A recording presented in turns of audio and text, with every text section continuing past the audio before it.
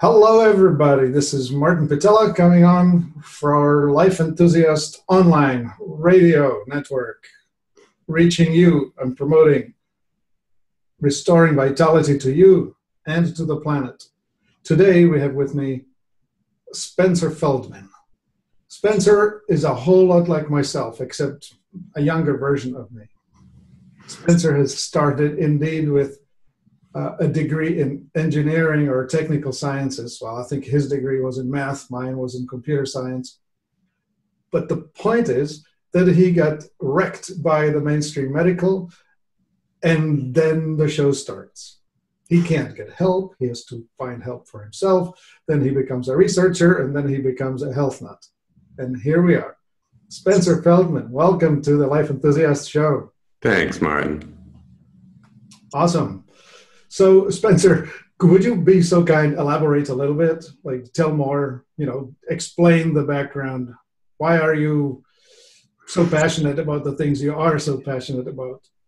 Well, what happened to me was I was in college, and uh, there was, I think, one person who had gotten uh, measles. So they vaccinated everybody in the college, and I lined up to get the vaccine in my arm like everyone else. And not that long afterwards, I couldn't drink soup because my hand would shake so much that the soup would shake out of the spoon before I got it to my mouth. I said, well, this can't be right. I mean, I'm studying mathematics, but I, not medicine, but this can't be right. I don't have Parkinson's. So I went to the doctor and he said, well, here's a pill. I said, great, thank you. Why is my hand shaking? He goes, well, here's a pill. I'm like, yeah, okay. Why is my hand shaking? And what's the pill going to do? And I guess I had exceeded my five minute allotment of time, and that was that. So I never took the pill. But, um, and I didn't understand until years later, it was probably um, the thimerosal that, had gotten me.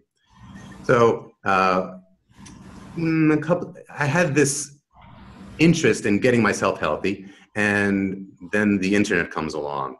And that's a researcher's dream. So I was up till three in the morning every night going through PubMed journals and reading translations of Russian literature, uh, you know, Russian science journals, and slowly I started piecing together what was going on with people, with me, and I, I found that I had a an ability to put, I guess, pattern recognition is what you'd call it, understand why things were falling apart and how to put them back together again.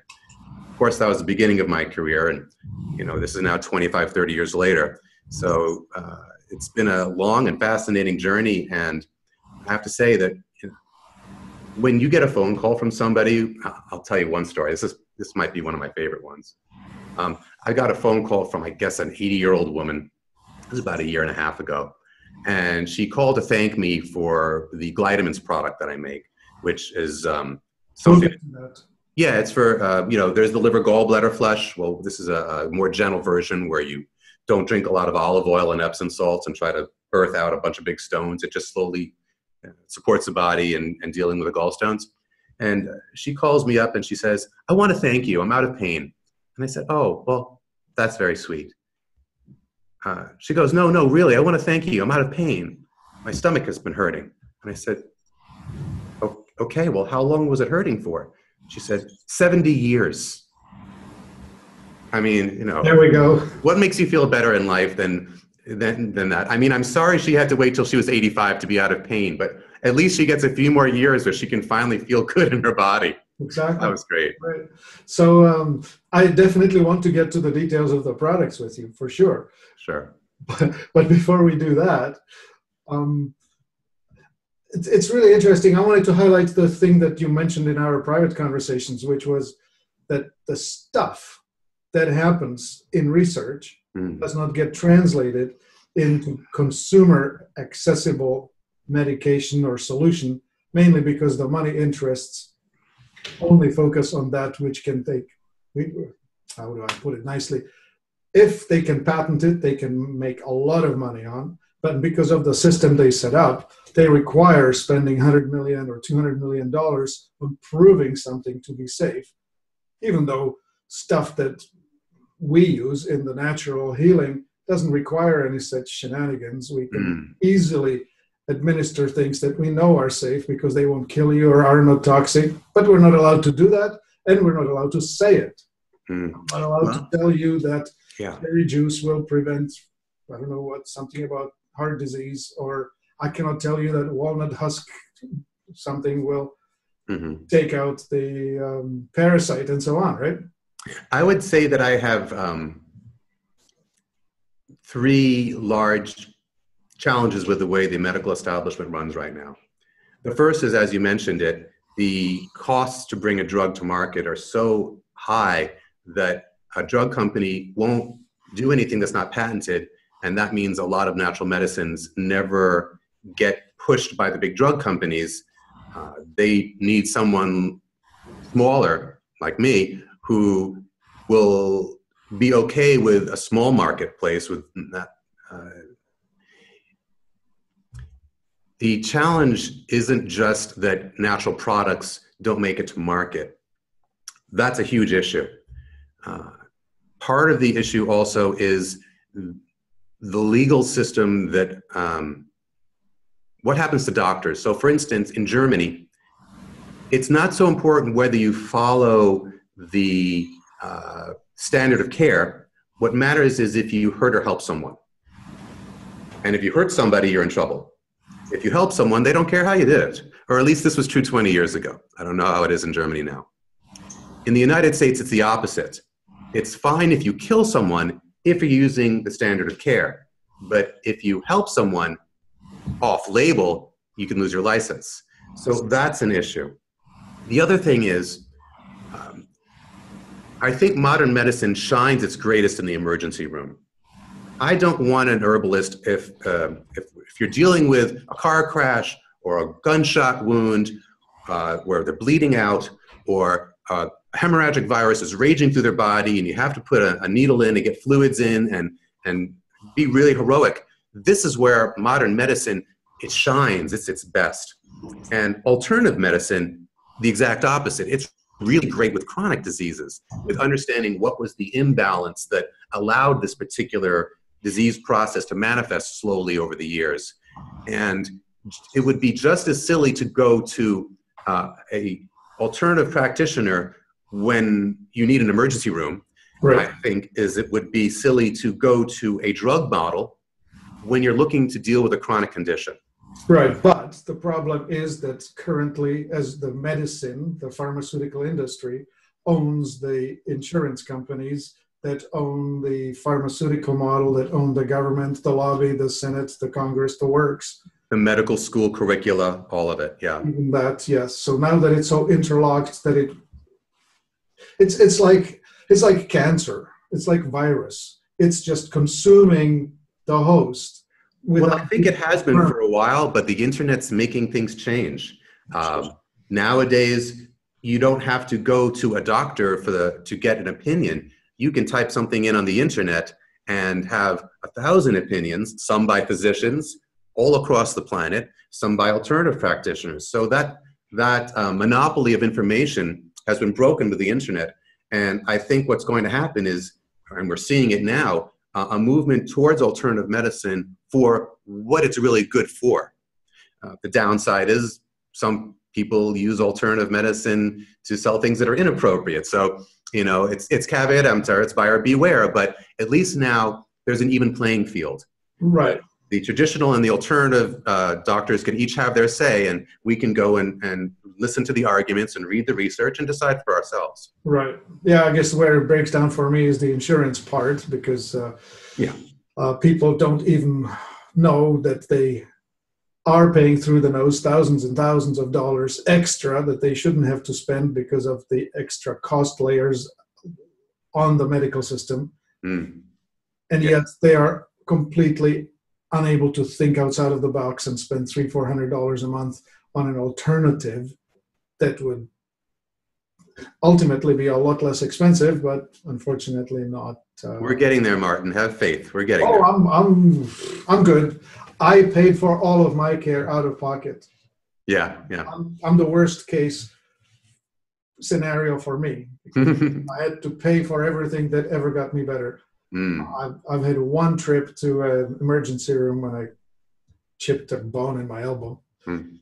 Yeah. Anyway, great. So I want to tell people what they're going to experience here in the next little while, which is number one, we're going to give you a coupon that's going to get you free shipping on the products that are available at remedylink.com, which is Spencer's website. And so the products we're going to be telling you about, you can access directly there. And uh, I'm going to tell you now the coupon is enthusiast. Hope you can spell that. So when you go to remedylink.com, you will be able to get free shipping on the products. And we're going to get talking about the products really soon. The second thing is I want to tell you is that Spencer is very, very good at finding ways to restore wellness out of illness.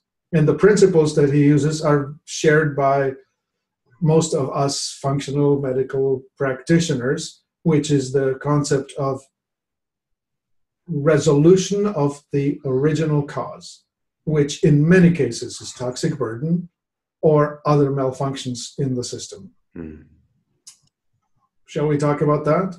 Sure, sure. Okay, so so the principles that RemedyLink is built upon. Let's talk about RemedyLink. How old is this? well, I've been making products now for 19 years. I think the name Remedy Link isn't that old, but that's how long I've been uh, designing products for. And it started out making them for myself, and then um, some alternative doctors I knew said, "Would you make some for my clients?" And then I found I really liked that. It was very satisfying to me uh, to solve the puzzles of what's going on. Uh, what we were doing was, or where I started was looking at products or protocols that were really good, but people wouldn't want to do. Uh, so, as an example, the first product I made was Medicardium, uh, which is a magnesium based EDTA chelation product as a suppository. And uh, chelation is great, but you can't take it orally because only 5% survives digestion. And not that many people want to or have access to running uh, IVs into themselves. Um, I taught myself how to do it on my own arm. You know, that was a bit of a mess while I was learning. Uh, when it's, you know, I was curious. Um, but uh, chelation is fantastic. And there were just not a lot of people doing it. And 15, 19 years ago, even if you wanted to get an IV of it, there weren't that many doctors that would do it. So I wanted to make it available to people in their homes. Uh, I've made a slight change from the way it's typically done. Uh, most chelators are disodium EDTA uh, or calcium disodium EDTA. Now the disodium burns, so that's not used so much. Calcium disodium. The challenge with that is calcium's already on the EDTA, so it can't pull up more calcium. And we're not just trying to pull out heavy metals with EDTA. We're trying to pull out dystrophic calcium, calcium that's in the arteries, in the kidneys, in the, in the muscle tissue. That's a good part of the benefit of the anti-aging part of chelation. So I designed a magnesium and potassium EDTA so that it would give the minerals that we need, the magnesium and potassium, but still have the ability to grab onto calcium. Uh, the other thing, which I only recently figured out, is uh, how to deal with the concept of mercury redeposition. Now, uh, of the three main chelators for mercury, you have DMSA, DMPS, and EDTA.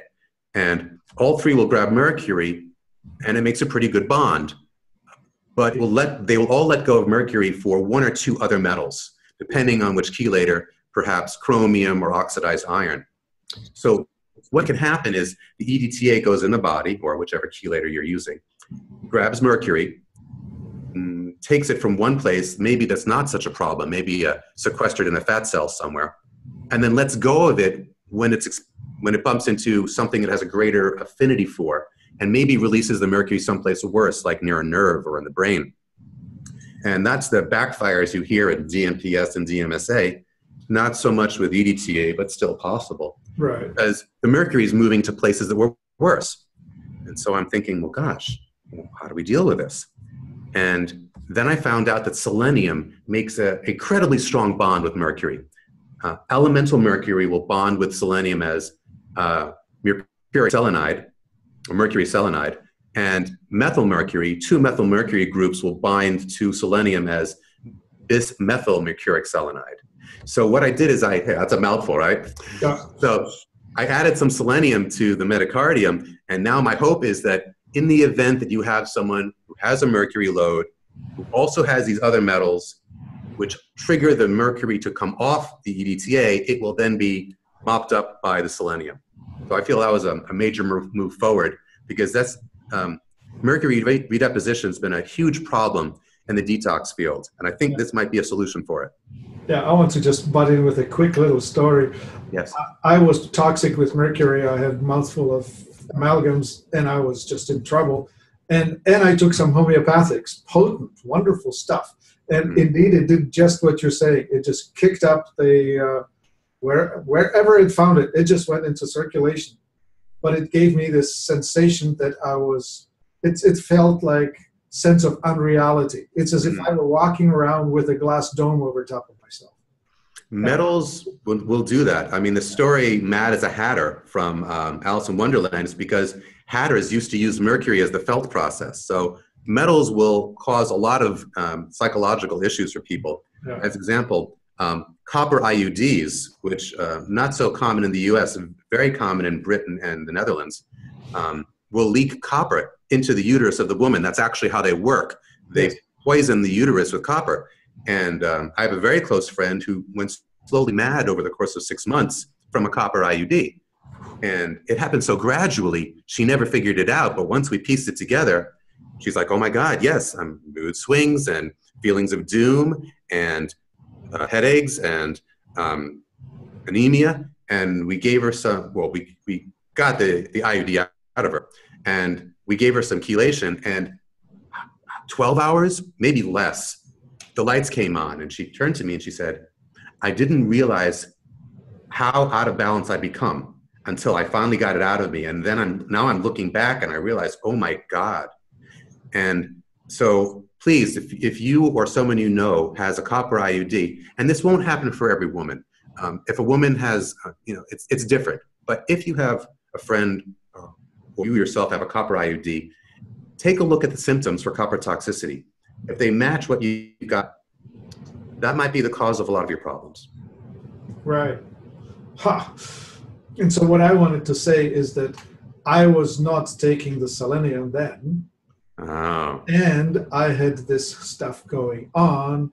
And I was, I mean, it got even funnier. I lost the ability to tell whether, for example, I was urinating or not. Oh my gosh. I remembered that I was standing at the stall in my suit. This was in my corporate uh, tie and suit job, and you know, just doing the thing.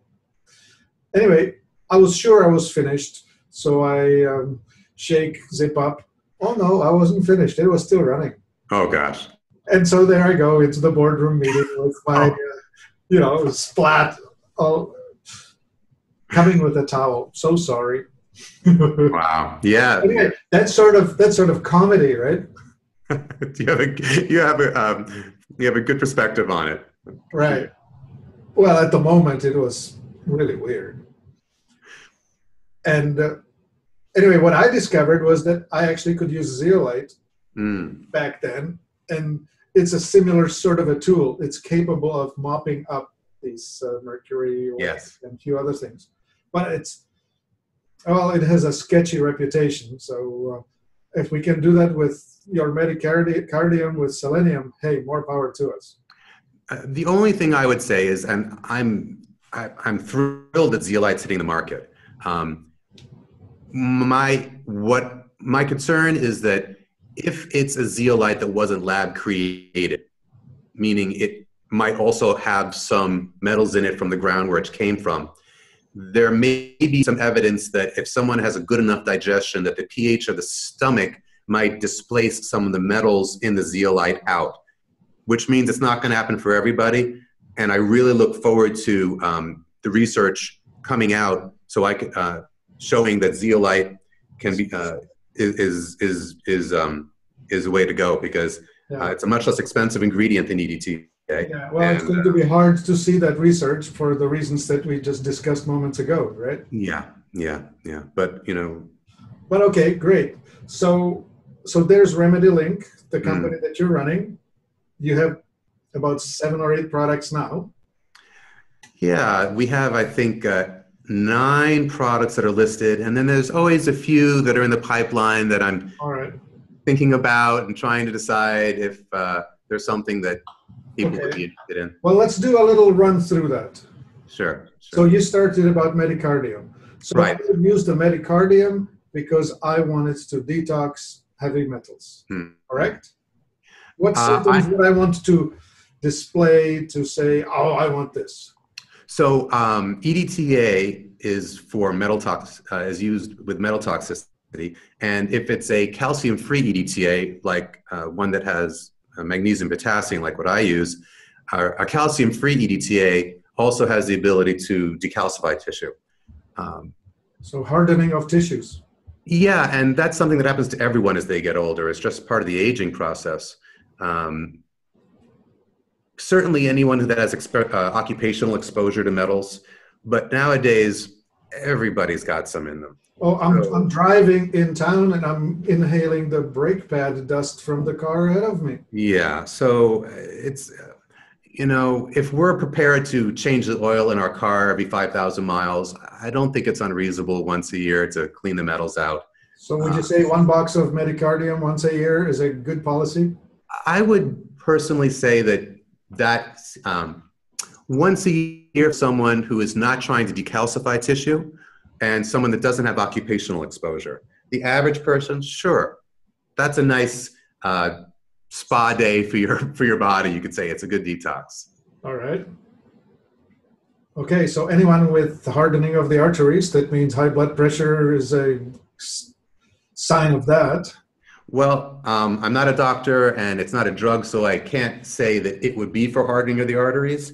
But I can say that um, Well, we are a when little, I, here what I can tell you. When I had, I have a lot of heart disease in my family, and I take medicardium. And when I got tested, um, I had the heart of a 25 year old. right. So Well, I'm allowed to make structure and function claims, right. what FDA supports. And if I tell you that this will soften hardening arteries, that's a function claim. I think we're safe to say that. I I will let you make. I I will let you say that. I will. I will err on the side of more caution. Okay, well, I will let your doctor decide whether he can tell you that you have that illness, but Yes. you decide. Okay, Okay. got it. Okay, so medicardium for that. Yeah. Uh, medicardium. I would use if I were dealing personally with metals or calcifications. For me. All right, awesome. So the next one that we have that I'm personally really fond of is the glytamins. Ah, yes. So that is a remake. Uh, so in the same way that I wanted to make chelation available to people who didn't who didn't want to do needles, I wanted to make a liver gallbladder flush available. Now, the the old style way of doing this is to take a half a cup of olive oil to stimulate bile, and then uh, Epsom salts to dilate the sphincter of Oddi, the little ring muscle at the bottom of the gallbladder that opens it up, and then give birth to a bunch of stones Yeah, you know, this is a heroic way to do it. And if I were looking at trying to avoid uh, gallbladder surgery in four days, sure. But if you have a little more time, um, I think it's nicer to do it a little more gradually. I like to melt them out personally. right on. And Well- um, well, we have we have on our website a couple of recipes for doing this gallbladder flush. yes, and people do it i've done it it's um, it's a little bit like trying to give birth yes, not totally like that but sort of like that because you're trying to push things through an opening that's not meant to have Yeah. stuff that size pushed through it yeah. I've done those. I've done the liver gallbladder flush myself. Um, I think if you want to do it, it's much better to first soften and break down the stones as much as possible uh, before you do that. Um, but the the challenge I would say is that it doesn't address why the stones were there. It will flush the gall, the bile, the sludge, and and but it won't get to the causal layer. And part of that has to do with all the chlorinated water we're exposed to. The body needs to get rid of that with glycine and taurine con- uh, peptide conjugation. Uh, so we end up with glycine and taurine deficiencies, and glycine and taurine are the building blocks of bile. So I think that's part of what's going on. I think the uh, people who are on a low-fat diet, which I believe is a mistaken idea, um, who aren't giving the, the liver the continual stimulation to produce bile and stay moving, also that contributes to the kind of hardening and sludging effects. Um, there's some evidence that nanobacteria can be the seeds for these stones. I so what we did with the glytamins was we said, okay, liver gallbladder flushes are vitally important. Uh, how can we do this a little bit more gracefully? Uh, now, a suppository goes up against one of uh, goes is right up against three veins in that area. One of them is the portal vein, goes right to the liver. So suppositories are a great way to access the liver. So when you put things in a suppository, one of the places it'll go is right to the liver. And so we use those things, uh, Chanca Piedra is one of my favorites, uh, for supporting the liver and dealing with uh, the clogging, uh, supporting the liver and dealing with uh, resolving the stones, but also giving it the building blocks to make bile in the first place. And uh, I think it's before someone does a detox, um, the, you've heard the term a healing crisis or um, Herxheimer reaction. Um, that happened to you, all the mercury going everywhere. I think when someone's getting a healing crisis, what's gone on is they haven't cleared the channels for detox first. So the water soluble toxins have to come out the urine, so the kidneys have to be clear. Uh, you know, BUN creatinine ratio and no calcified kidneys. And the fat soluble toxins are going to come out the liver and the gallbladder and the bile. So, what I like to do first, if I'm detox, if I'm uh, doing a detox, is do the glytamins and the medicardium so I know the glytamins first, so I know that the liver gallbladder is moving as clear as possible. The same ingredient, Chanca Piedra, that has um, that is associated with uh, uh, working with gallstones also has an effect with kidney stones. So I like the glytamins first to open up the water soluble and fat soluble pathways, then go in there with the medicardium for metals and say the, the uh, xeneplex for chemicals and that kind of thing. And uh, also, I think uh, the lymphatic system is overlooked. It's good to get the lymphatic system too, because that can also can get uh, a little sludgy. Right. So, okay, so you mentioned the um, Xeneplex, which, mm. of course, that's the ongoing continuous liver support, right? Yes, uh, it's not something I would do every day. It's um, no, right. The uh, so that is a remake of two different protocols that I thought really should be done together. Uh, it's organic coffee and glutathione. Now, organic coffee as a suppository uh, acts like a coffee enema, and the way a coffee enema works is it stimulates an enzyme in the liver called glutathione, glutathione S transferase, whose job it is to attach glutathione to the chemical toxin. Now, if you give someone a coffee enema and they don't have enough glutathione in their body, it's going to be limited in its effect. And you could actually backfire a, a little bit. You might end up uh, just stimulating too much phase one, not enough phase two, and, and making it temporarily more toxic for a person. So if you're going to do a coffee enema, it's really good to have glutathione in the system, but a lot of us don't, and the reason is it's already been used up dealing with the toxins we've been exposed to. So most people are, you know, their tanks bottomed out on the glutathione. Now, glutathione, like EDTA, will not survive digestion more than say 5%. It's a tripeptide. So glutathione is given by IV, but I put it in the suppository so that it hits at the same time as the coffee. And this reminds me of a story I'd like to tell you about how I fell in love with glutathione. I was living in Hawaii at the time, and uh, my next door neighbor was a very famous painter. And he comes over and says, uh, Spencer, I know you're into detox. Can you help my friend? I said, Well, sure, Jan, I could try. What, what's going on? He goes, Well, uh, he, he was at a work site and opened a refrigerator and drank what he thought was a glass of water. I said, What did you really drink, Jan? He says, Industrial solvent. And I said, How much did he get him? He goes, I don't know, but he's um, maybe uh, enough that he's in trouble. Well, they went to the, they went to the, obviously, so I followed up and I, I uh, sent a message to the, the fellow. I said, uh, If you're still alive, um, here's what you could do. Um, go and get some glutathione by IV and find, find a way to get it into you. Find a way to get glutathione into you because glutathione is good for solvents because the hospital couldn't do much for him. And I said, I don't care, you know, it doesn't matter how you get it in, find a nurse, find a doctor, find a veterinarian, find a junkie. Find someone who can get a needle. And again, I'm not giving him medical advice. What I'm saying is, this is what I would do for me. I would get the glutathione in one way or the other, and this is how much I would use for me.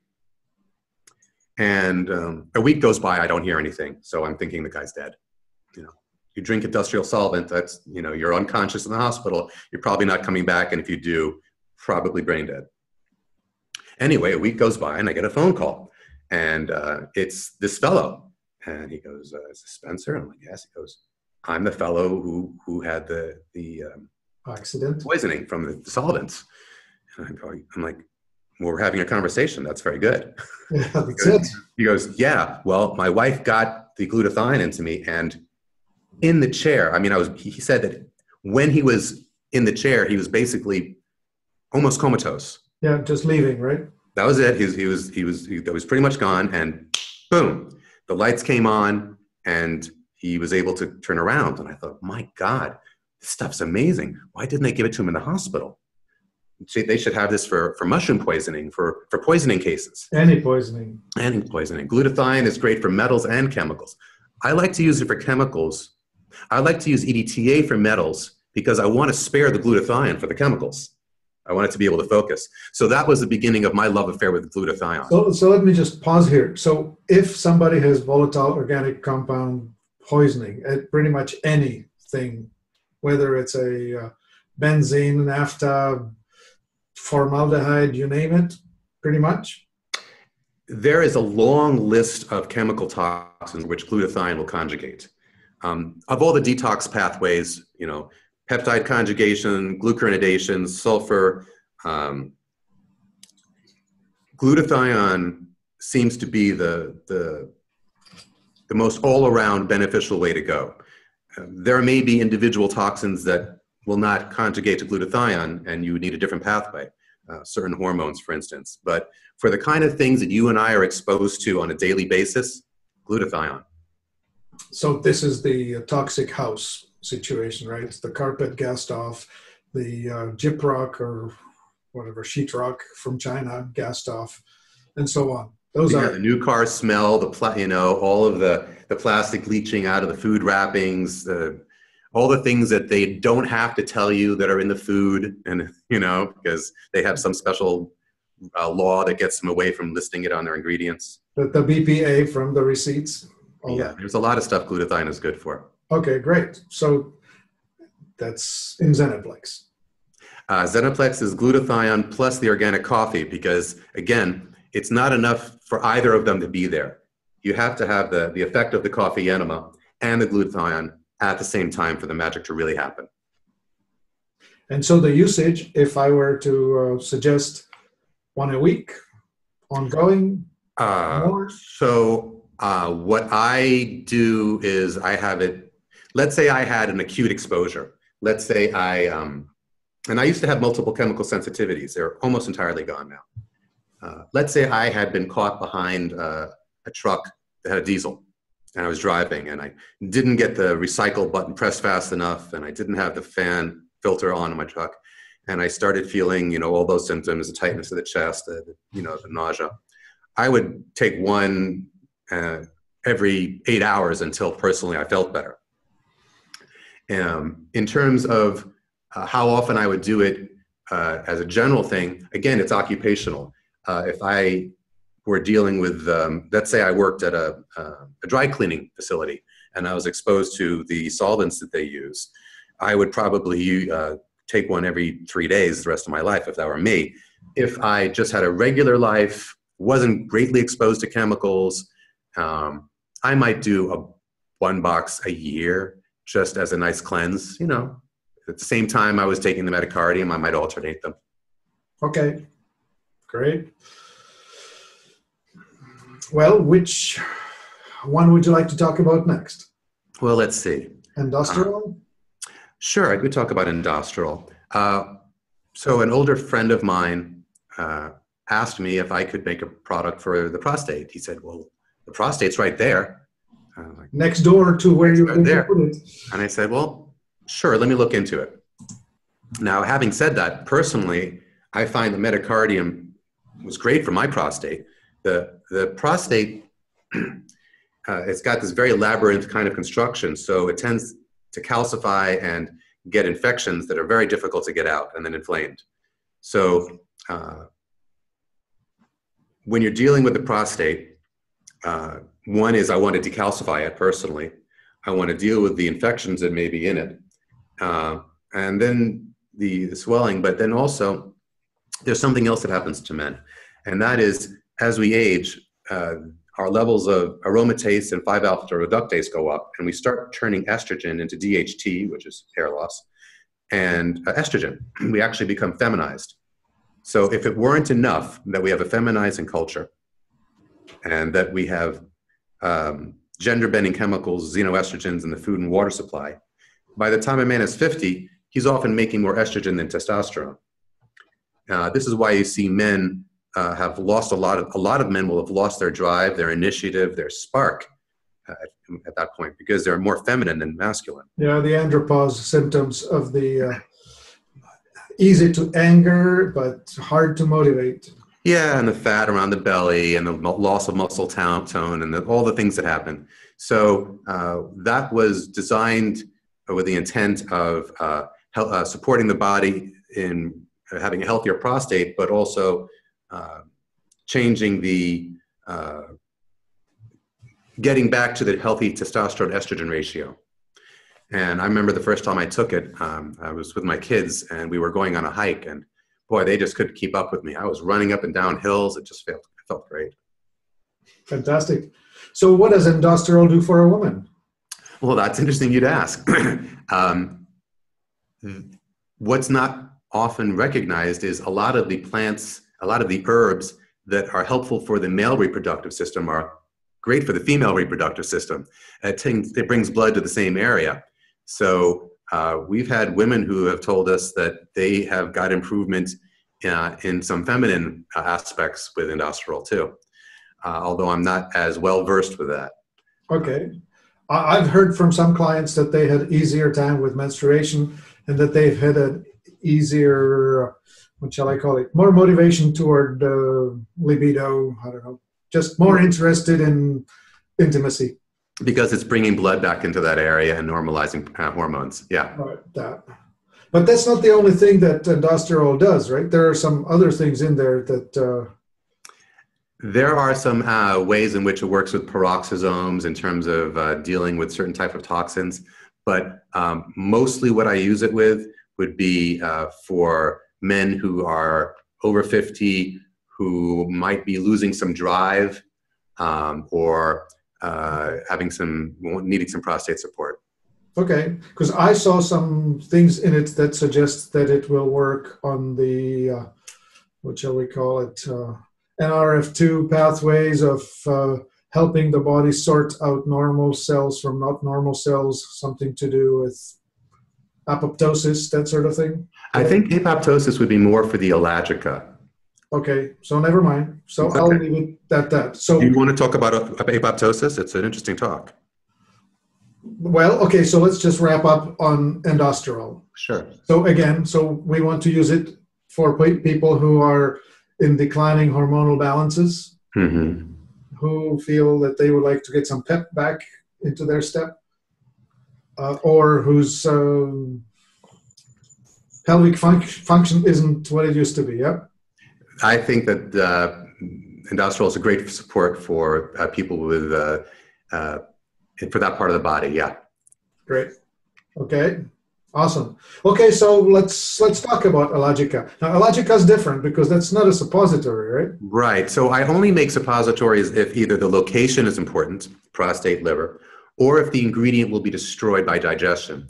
So the Ellagica story is um, my my son was uh, visiting relatives. He was 3,000 miles away. He was maybe five at the time.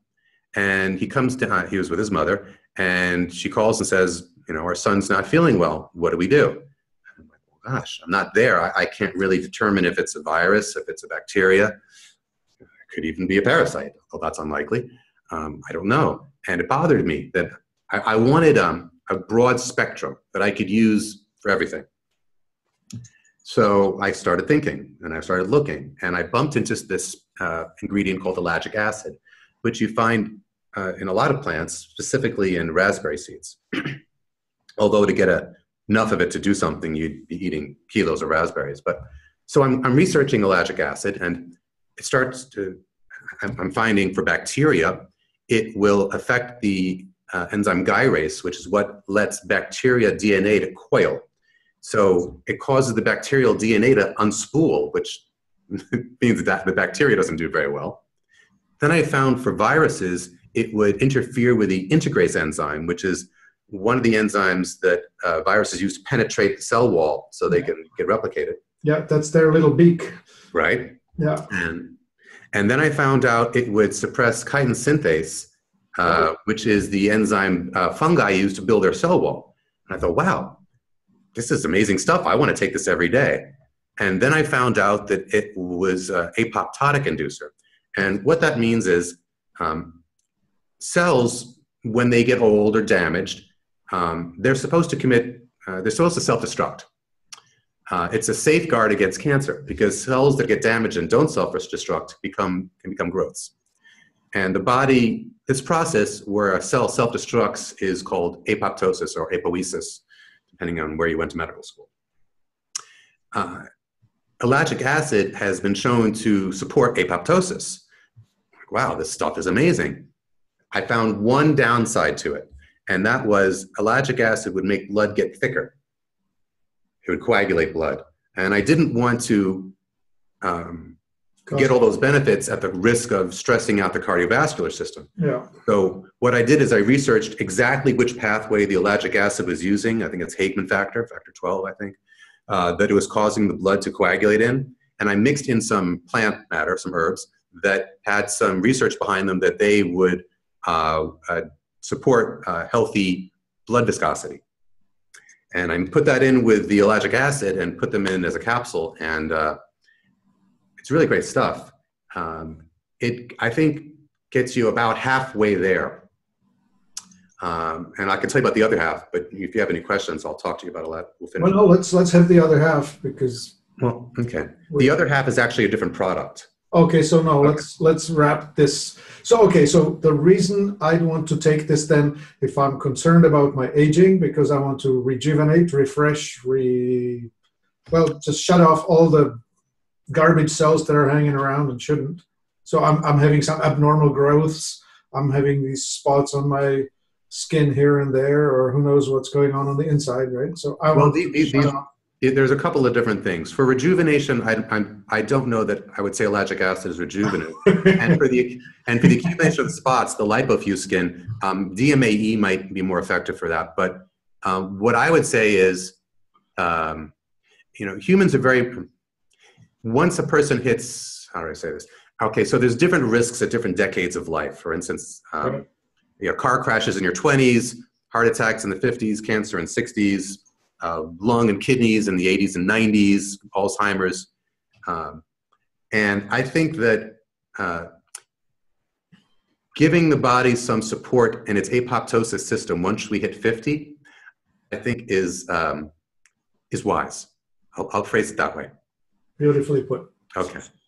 Okay, and so, okay, we're putting it on the side of the preventive. Okay, you're saying, never mind, uh, never mind the word that we're not supposed to use, and I'm going to disclaim it here. I am not suggesting that if you have cancer diagnosis that we are telling you to buy three bottles of Ellagica, but it is known that ellagic acid is the supplement that helps to turn a wayward cell back to not being wayward or shut it off. You know, um, we could talk about cancer for a moment. Uh, first off, when we have um, chronic toxicity, so we have chronic toxicity, it accumulates in the tissue that's genetically the weakest. It lowers the cell voltage of those cells so that all of the composting microbes that we eat that normally pass through us as spore and eggs are triggered to wake up and colonize us because we look like compost material to them. Um, because of the low cell voltage. The body then tries to deal with that. It becomes a chronic wound, and the body keeps trying to repair it for quite some time. In order to repair a chronic wound, you need to differentiate, you need to create, you need to multiply and create new cells. And I'm of the opinion that in some cases, cancer is triggered by these chronic unresolved wounds because what cancer is in the simplest form is a cell that won't turn off its replication cycle. Cells should be off and on. And when they get stuck in the on position and they keep multiplying, that's cancer. So I think that there are a lot of signals we get in our bodies to put cells in the on position. There's chronic wounds to multiply to fix the wound. Um, there's all the radiation, cell phones. Well, which, there's, there's your injury, constant, yeah. repeated micro injury. Yeah, yeah. And it's not like there's enough energy in a cell phone to cook an egg, but the frequency that it's at is such that it can get cells to stay in the on position more than the off. Or so I've read. I haven't personally done the research. So what I would say is, uh, once you once I hit, for me personally, at 50, that's my line in the sand where I say, okay, now I need to start being more preventative and start not just doing something yearly, but maybe a little more often to deal with some of the things that might be coming down around the curve at me. Okay. Uh, one last word about cancer, and this is just my personal opinion. Um, I think cancers are they're, they're very um, they can evolve very quickly. They can respond. They can adapt. They're adaptive. So uh, what I would do is I would pick say 12 protocols, 12 remedies.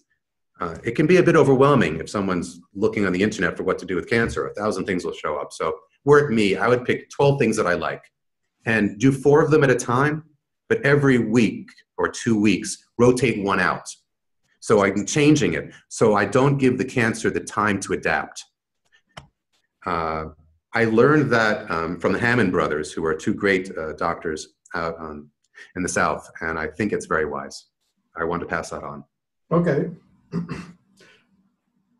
Got it. And so, as far as the use of the Ellagica, this is in capsules. I think it's 90 capsule to the bottle. Yeah so what do we do with that? Three a day? Uh, for me, at 49, turning 50, I might do, you know, a capsule every two or three days. Just, just, just a single capsule? Just one. one unless maybe I had a familial history of, of things I didn't want in my body.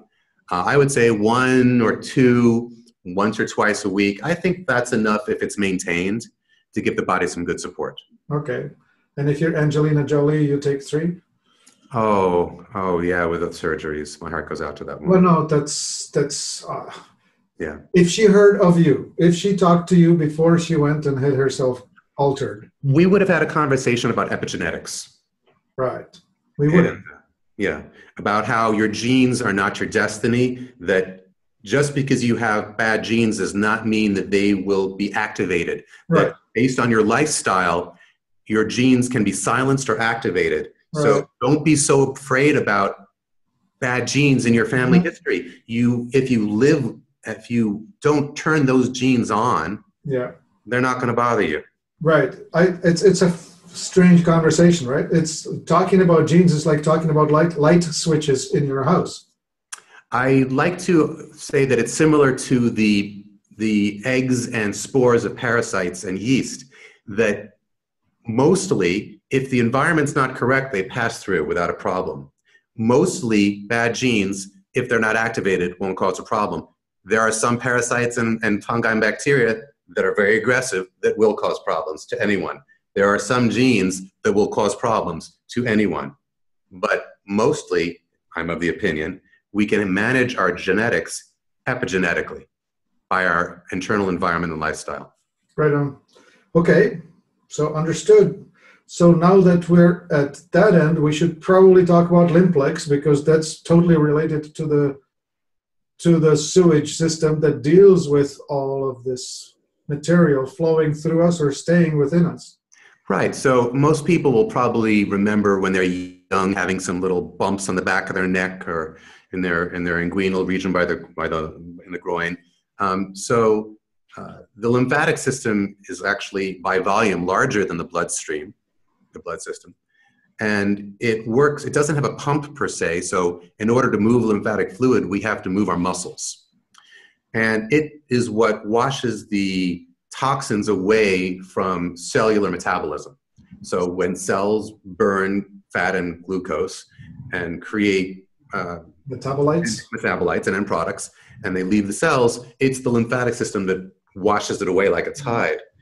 And I keep using the aquarium as a metaphor. Hmm. If the cells were the fish, the water in the aquarium is like the lymphatic fluids. Yeah. And that fish eats the food you throw in the aquarium and it poops right back into that same fluid.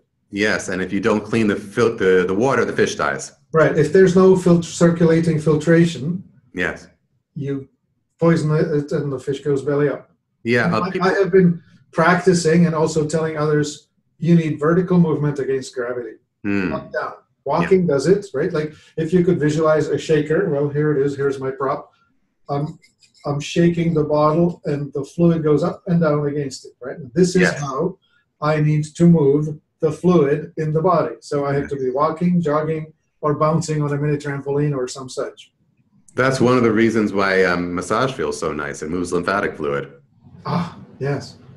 I can't. I can't help but feeling joyful when I get off the trampoline mm. because there's oxygen reaching my cells. Yes. Yeah. But anyway, so back to.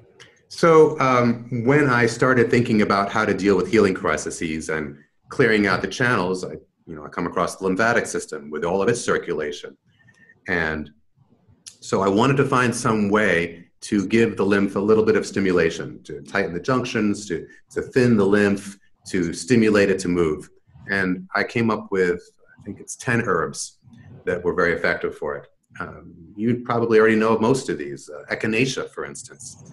Um, so, uh, what I noticed is the first time I took the product myself when I was experimenting, I could feel all my lymph nodes light up. They got kind of warm and tingly. I was like, wow, what's that?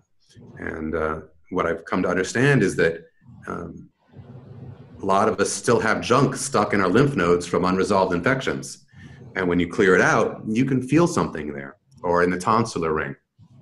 So uh, I think part of a good detox protocol would be to go through one bottle of Lymplex, and you don't need the whole bottle. I would take you know, maybe uh, six and see how I felt. And if I notice something, I might consider that for me an indication I could take some more.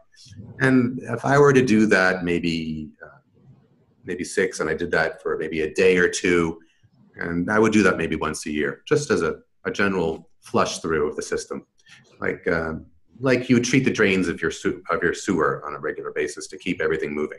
Yeah, and the Lymplex is a capsule uh, product, right? It is. It is. Again, 90 to the bottle? Yes, but it's, it's too strong to do more than, you know, just a little while. It's very powerful. So that bottle will probably treat the whole family?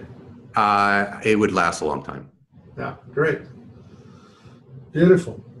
Well, so we're making our way through this. Now, one of your newer babies, which impressed the daylights out of me. Well, actually, I'm going to bracket something in here. I got four products all at once. I took the Medicardium, Xeneplex, Endosterol, and Glytamins. And uh, on the box it says use one every third day. I thought I don't have time for this, so I just rotated it. I used one from every box every day ongoing.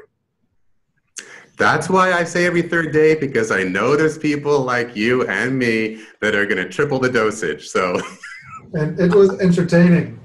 Yeah, all right. So you have still two more products on your site that didn't we didn't talk about. Do you want to? Sure. We have uh. Yes, we have Zoiben, and okay, let's talk about it. Okay. And then there's one that's not on the not on the site yet that I can tell you about too. Okay. The, the Zoiben is um, German for uh, purge or cleanse, and uh, you know uh, we've all read Hulda Clark and about parasites being problems. Uh, the challenge is um, most of the anti-parasitic agents I took, uh, the plant-based bitter ones, the bitter materials, they're toxic. They're mildly toxic to humans. Toxic to the kidneys, to the liver, to the nerves. And uh, so, is it worth killing the parasite if we're also hurting ourselves? So, I started thinking about this, and I wondered well, why is it that a human body is so good at dealing with viruses and bacteria, but terrible at fungi and parasites? What did they, what's going on with that? And this is what I think is going on. Uh, parasites have been around for half a billion years, fungi for 2.4 billion years. They've had a long time to figure out, just through brute force evolution and mutation, how to mess with animals. Plants have been evolving with these for the same amount of time, and they're also susceptible to being parasitized and molds and fungi. So the plants have a defense. They've evolved. It's, they're essential oils.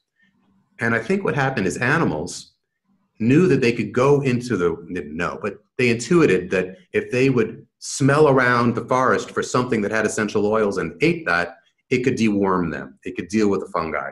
So I believe animals, of which we are, we're an animal, we have outsourced our defenses against fungi and parasites to the plant kingdom.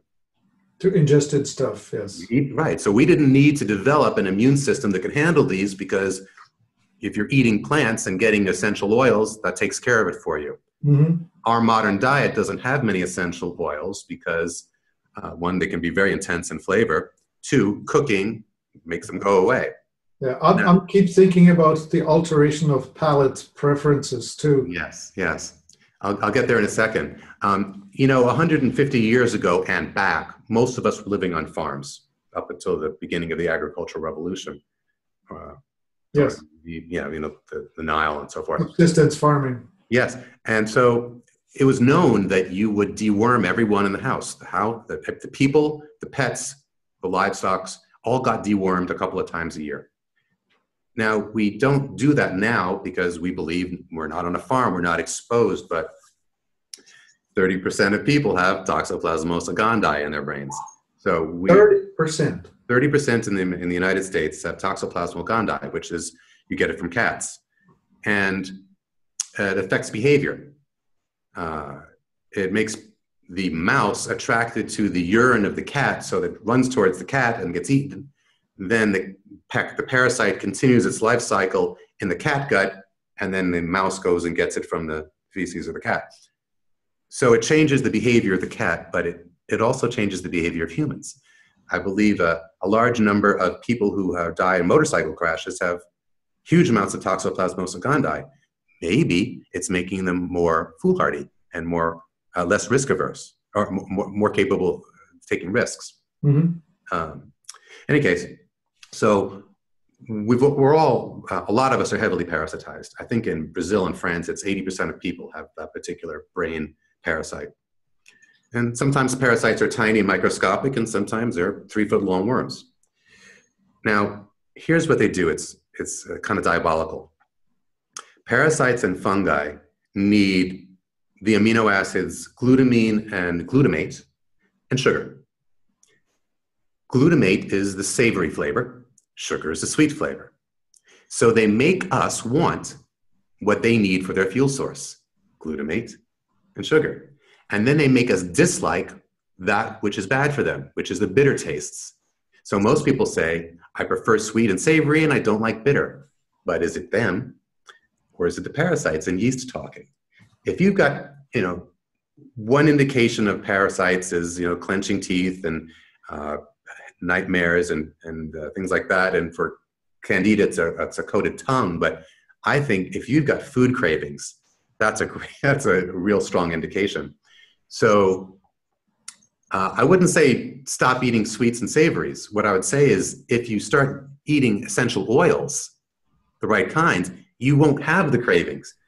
That doesn't mean you can't enjoy something sweet or savory, but you won't crave it. It'll be in front of you. It'll be nice. So will the, the vegetables. They'll all be delicious. So what I did was I, I looked at all the essential uh, oils, and I uh, there's hundreds of them, and I got rid of the ones that were toxic or sensitizing or made you feel funny if you went out in the sun. All those, and what I was left with was about hundred. And then I said, of these hundred, which are the ones that are the most effective against fungi, parasites, and yeast. I got about eight of them. And I started taking them, and things started changing.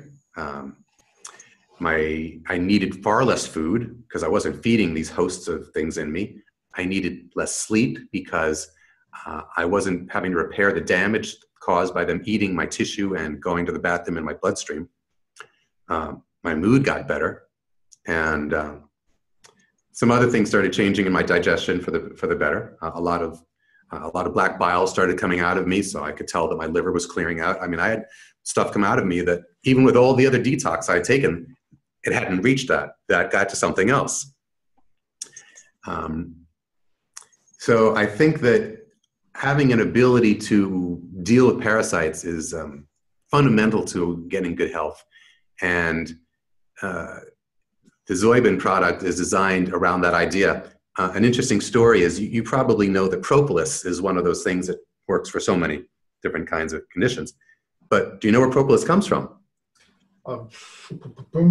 Pollen of no, not pollen, sap of trees. It comes exactly. It comes from the sap, um, the balsam, and the resin of trees. This is what the trees create to protect themselves. And the, the most famous saps uh, uh, historically for treating are uh, frankincense and myrrh. Oh yes. And so, and, and pine pollen, pycnogenol, pycnogenol, yeah.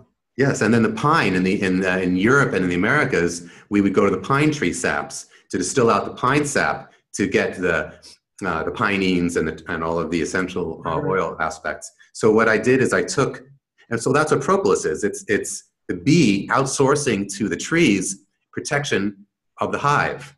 Yeah, that's beautifully deducted. You know, this is this is not well put anywhere. This is the first time I hear it put like this anywhere actually understanding that nature does this and just i use the word grok grokking this concept of how this is all put together. I'm, I'm impressed. An egg and a spore is much more resistant to um, the environment. So as long as i can make the environment such that they think it's not a good place to wake up and grow they'll stay dormant in those forms because it's when they're growing that they uh, they're susceptible. They're vulnerable in their growth state. So, right. So the deal is right. Once they pop, yes, it's yeah vulnerable. That's right. So I want to make a deal with these things. You can have my body when my body is dead, and I let them know my body is not dead by clearing out scar tissue and by taking enough essential oils that I am perceived as fully alive and not a suitable environment for growth. Right on. I think the idea of killing them is mistaken. We're not sterile, and neither is our environment. The idea is to harmonize with them and get them to want to stay dormant. Right. So stay hostile. Have high have high mineral values. I don't know what to call it. Total dissolved solids. Right. Be mm-hmm. be well mineralized. Have high electric values. Be the yeah. voltage of the cells, right? Yes. It's to be at the minus 25 millivolt or better. Yes. All that. And then we won't be colonized by these things. It, it won't even be a fight anymore because they themselves will decide. It's much better to get someone else to decide to do something they want to do than to force them. Mm-hmm. So the same with these things. Let them decide they don't want to be around, that right, they right. want to go back to sleep. Yeah. This is the Star Wars trick. These are not the.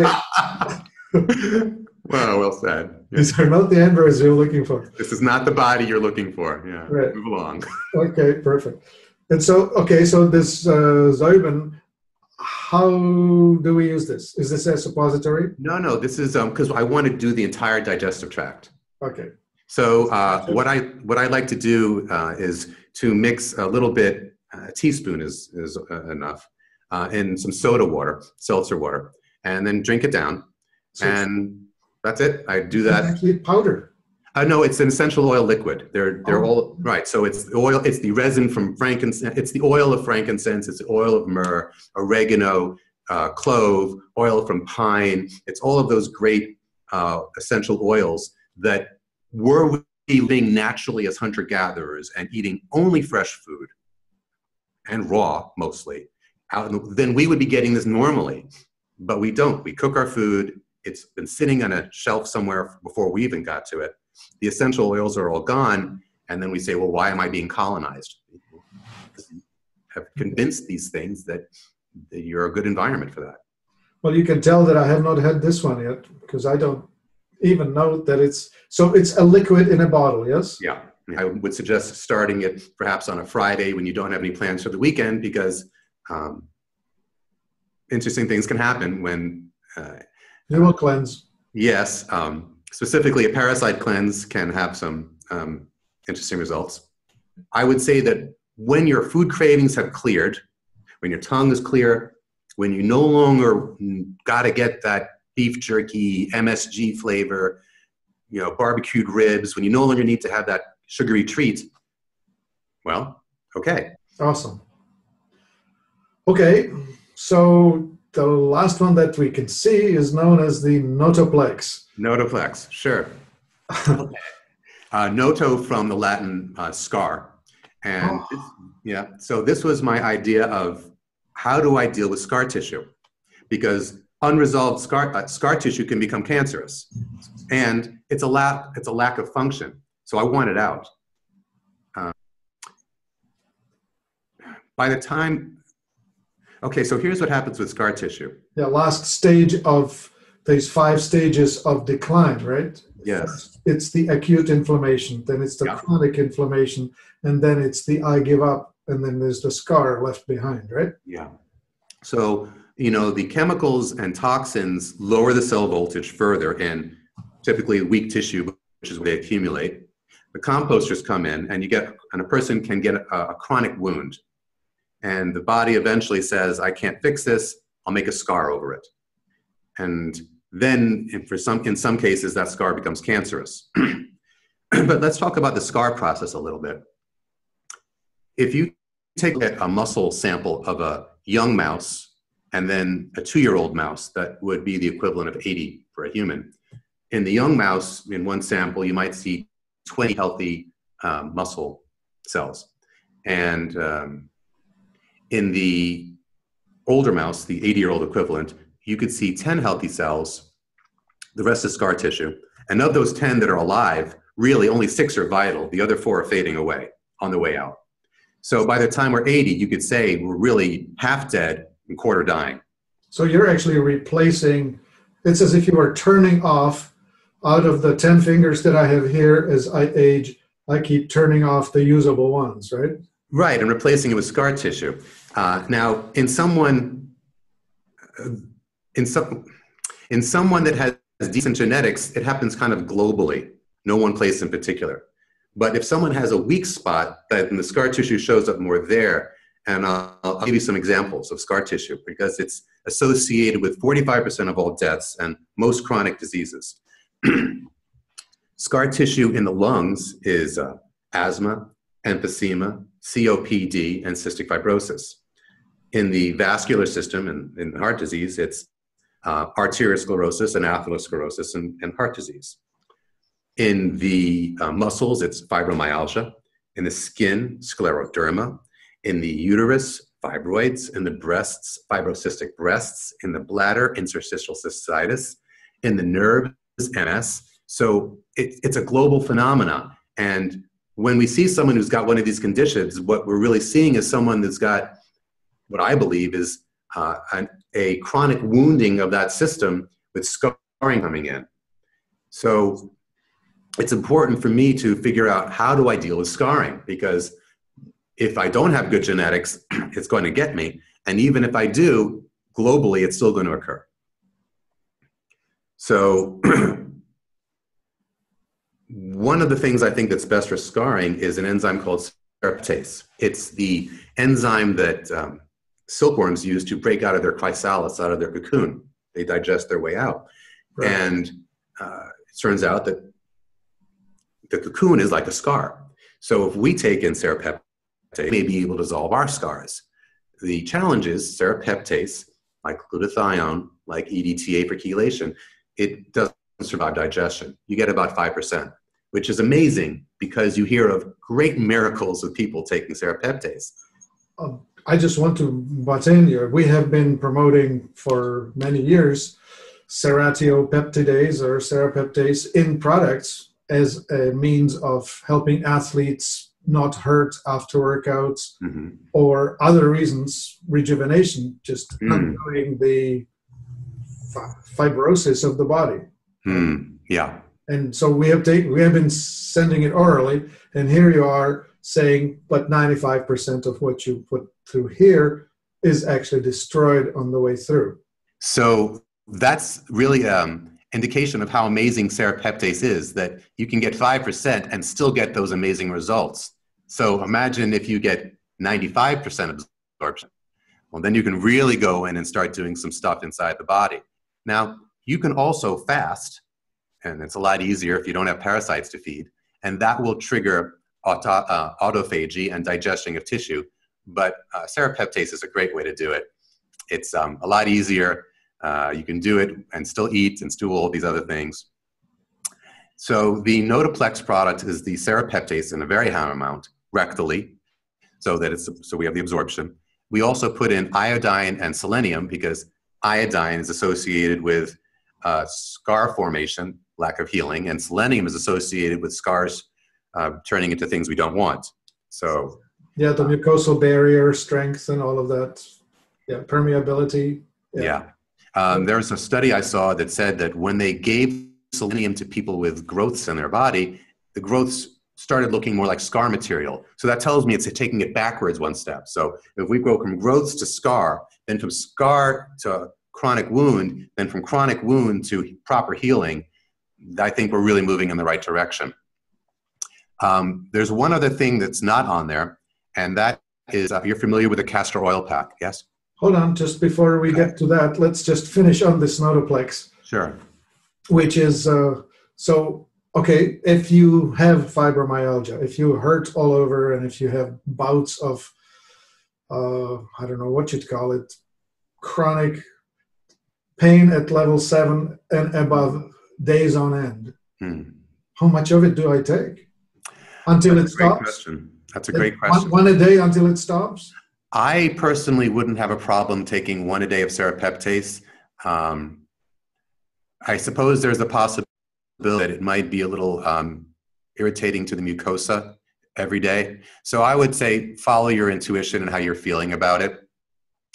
Uh, one of the things, like fibromyalgia, since you bring it up, when scar tissue gets laid down, little muscle fibers actually penetrate, get into the wound and tighten to approximate the wound to close. It's like little stitches. And then they're meant to dissolve afterwards. Now, fibromyalgia, someone has got scar tissue in their muscle connective tissue that's stitched up and it never dissolved. So that's what all those tight muscles are. Yeah, They're it actual feels like corduroy, it feels like ropes. Yeah, it's actual stitching. It's muscle tissue that's tightened to stitch and never gone away. So that, you know, that's part of the issue with chronic um, scarring is it, it tightens everything up. Okay, so we we have it here saying take as much as you can stand until your symptoms have receded.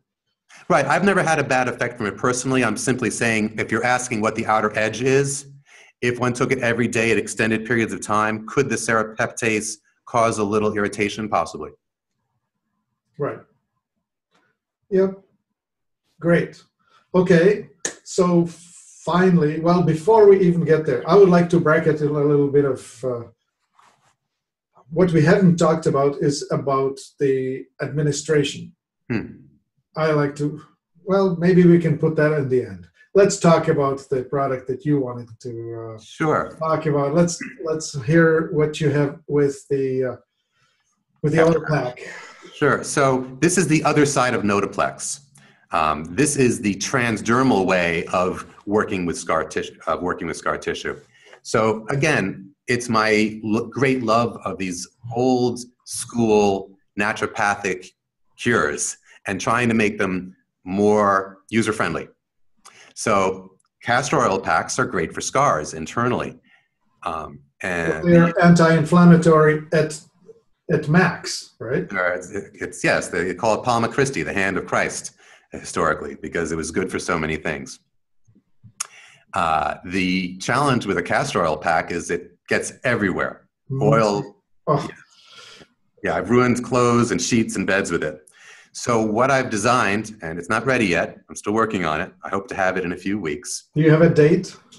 Oh, This, this thing will be up for years. Uh, I'd like to say that within. See, I have to. All right, let me tell you. It, it, Summer of somewhere 2018. four, four to eight weeks because I have to get some things custom manufactured for it. Okay. What I did was I'm having these bandages, very big bandages, larger than you can get in a store, with uh, adhesive on all four sides, so that you can place it on your body, and so that the castor oil won't leak everywhere. Right. So I've turned the castor oil into a paste and added some things to accelerate the transdermal aspect of it. And the idea take this paste and you spread it on the the um, oversized bandage and you put it on.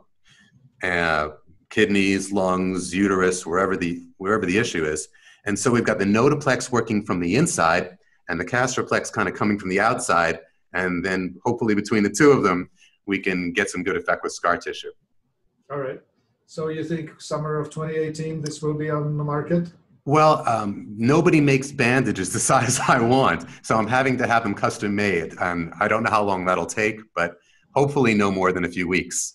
Right. But I prefer to uh, under promise and over deliver. So let's say two months. Okay. Great. So the castor pack Hmm. is, is something that works. Normally, you would do that with heating it. Normally, what you would do is you would take a piece of flannel cloth, soak it in the oil, put it on, say, your liver, wrap Hmm. yourself in uh, saran wrap so that you don't oil everything else, and then you would put a heating pad on top of it, right? Like Right. Electric or hot water bottle. Yeah. Similar idea. Yes. So the idea of what I'm trying to do with Castor Patch is um, I'm going to see if we can do it without a heating pad. I think a heating pad would be better if you have access to one. Well, a hot water bottle is not hard to make. Same, same. But my, my, my hope for it, and it depends on how good the adhesive is, is that you can, if you want, you know, put it on and sit up, maybe even walk. Okay. Um, use a hot pad of some sort if you're home, but then you can also leave it on for an hour or two and go out and walk about during your day without fear of it leaking everywhere. Now, whether I'm able to actually make that happen or not, we'll find out. That's my goal. Okay, great. Okay, so uh, in closing, what we have not done is we haven't talked really about suppositories. Hmm. It's important to understand that to some people it's kind of anti their religion Hmm. because they don't think that inserting things rectally is a wonderful idea. Yeah. However, I, I want to speak on to that in, in this way is and you can probably support that well is uh, there are major ways how you can get stuff into the human body. Like if you inject it intravenously you're in. No barriers you just load it in. The other common way we have is we put things under the tongue which is sublingual. We try to absorb it through the soft tissues in the mouth. Hmm. Or we spray it in the nose or in the lungs inhale it hmm this pathway, the rectal pathway, is really effective, Hmm. right? I'm a huge fan of suppositories uh, uh, for a couple of reasons. One is um, I've taught myself how to do IVs on myself, but even now that I can do it, you know, easily, um, I don't like it. Um, the suppositories, let's compare them to nasal, sublingual, uh, transdermal. The issue I have with sublinguals is I always salivate so much when I've got them under that I end up swallowing it all. So I'm not the hugest fan for sublinguals. They work, but they work in thing. They work with things that um, are so concentrated and so potent that you only need micrograms, from my perspective. Uh, the same is with the nasal spray. For instance, um, I take a lot of peptides as a nasal spray. Maybe one day I'll make a product for it. but I only need tiny, tiny amounts. So it's okay to do a spray on each side. I can hold that in. I couldn't possibly take a gram or two grams of material under my tongue or in my nose. So the IV is great for when I need to get a lot of, if you have to get a lot of stuff in, a whole bag of stuff in one, yeah, an IV, especially if you're in a hurry. But if you don't need to move that quickly and you don't need to do that much, suppository, I think, is the next best. Um, so nasal for things with very, very small doses, suppository for things that you want to do in the, say, one to two gram range. Now, there's three veins in that area, uh, two for regular circulation and one for portal circulation. So it's a, you get some first, um, some of it goes to the liver, which is great if you're trying to get there. Some of it goes to the general circulation. It's great for the prostate because the prostate is eight, you know, half an inch away. Um, the benefit I think of suppositories is from a manufacturing standpoint. Um, when I put them in organic cocoa butter and seal them, no light gets to them, no oxygen, and if you keep them cool, they can last a long time. So the shelf life on these is fantastic. So if you buy something and don't get around to it for a little while, if it's in your fridge for six months, you're fine. uh, it's also um, relatively easy to use. Uh, once you get the hang of it, it's you know you can insert it in yeah. Five, ten uh, seconds. I would just say that the way I use them is I actually make them cold. So mm-hmm. I, I keep them in the freezer. Yeah. Yeah. And then I take the one I'm going to use. I usually just have my bowel movement, have my shower, and nice and clean. Well, I find the rectal opening and push the whole. The thing is about the size of my pinky. Oh, not even that. Maybe yeah. That the first, maybe the the first uh, knuckle well, and a half. Yeah. Yeah. Well, anyway, so I take that and I push it in. I need you need to push it past the sphincter in my body. That means about past here with this finger. Mm-hmm. And once it's past the uh, sphincter, it's stable and it's going to melt there and stay there. And I've only had one accident when I accidentally had some gas and uh, and it sprayed my underwear. Yes, so you have to keep in mind if you're going to use a suppository and you think you have gas, there's going to be even if you do have gas, there could be some cocoa butter that comes out. Just get it bad. Go excuse yourself and go to the bathroom. Or or just wear a liner. I just will go to the bathroom and then that'll be that. Yeah. yeah. Okay. Anyway, it's once you get the hang of it, it's no big deal, and yeah. uh, and it's effective, and you get a lot for your money. You get you can put a lot in, and it bypasses the digestive system, which is the key part of it. So, for instance, the Ellagica, the Lymplex, I make them as capsules. They're, the ingredients in, in those products survives digestion. Sometimes is actually improved by it. The glutathione, the EDTA, uh, the serrapeptase, catalase will not survive digestion, or if it does, at 5%. So suppositories really shine for those kind of applications. All right. Awesome. Well, it's been a good long talk. Hmm.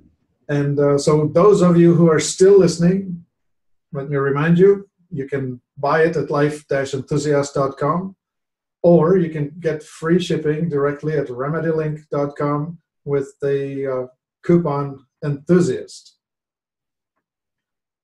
Spencer, you are an amazing researcher and uh, a wonderful human being, and I thank you so much for spending the time with us here today.